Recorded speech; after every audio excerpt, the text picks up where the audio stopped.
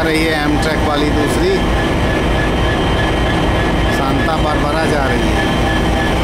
Pacific business class उसमें हम लोग जाएँगे।